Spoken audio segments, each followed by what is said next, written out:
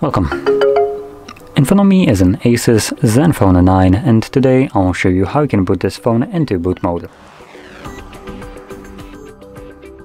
So to get started, you will want to hold power key and once you see the boot options, select power off. Device will reboot and or not reboot but power off and once it does you want to hold power key and volume up. This will directly boot us into the boot mode. So there we go. And in this mode, you'll need to use volume keys to navigate through the options. One option is visible at a time, right here as you can see. And normally you start with start being visible, which takes us back to Android. We have restart bootloader, which basically does nothing because it just brings us back to where we are right now.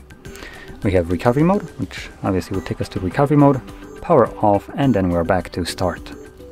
And whatever option you want to confirm, once it's visible, you confirm it then by pressing power key. And as you just seen, I did confirm start, which will take me back to Android.